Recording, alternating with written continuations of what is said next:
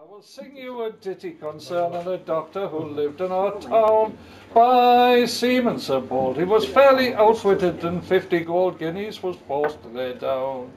These jolly these jolly young tars and their comrades for grog, their money all spent and their credit far gone. From fair ports, fair town to the quayside they have wandered in search for to find a bit of money for fun. Well, the cook of our ship being a one of our number, a bold lad was he, and his colour was black.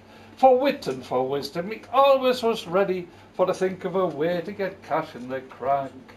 Then up spoke our cook, I've heard people say, a corpse can be sold quite easily here. Come take me alive, tie me up in me hammock, and sell me to buy all your whiskey and beer. Well, the seamen were quick to accept of his offer. It's a way to the house where the doctor did dwell, and it's into his ear while the whispered so softly saying, Doctor, we have a fine body to sell. The doctor spoke out like one in amazement.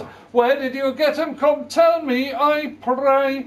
Come fetch him, come bring him unto me this evening, and fifty golden guineas to you I will pay. Well, the seamen were glad to accept of his offer. It's a way to their ship where they quickly did steer. And uh, now pay attention to what I may mention, and the rest of me story you quickly shall hear. They took the black cook, tied him up in his hammock, but he being a lad both sturdy and uh, strong, it's under his coat by the way of protection, he carried a blade about half a yard long.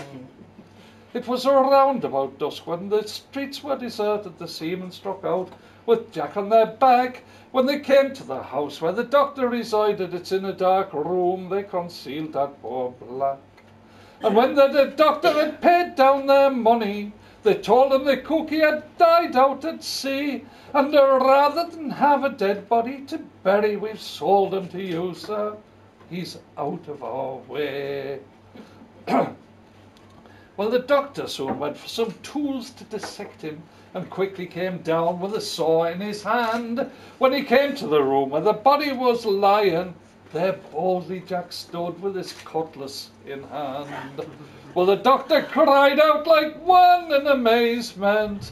He thought that the cook was a very rich prize. Well, the voice loud as thunder, Jack boldly did blunder, saying, Damn your eyes, doctor, I'll skin you alive. Well, the doctor was forced to retreat in a hurry, and his late bargain was soon to repent, while Jack hurried off where his shipmates were drinking and the rest of the evening was merrily spent. Way!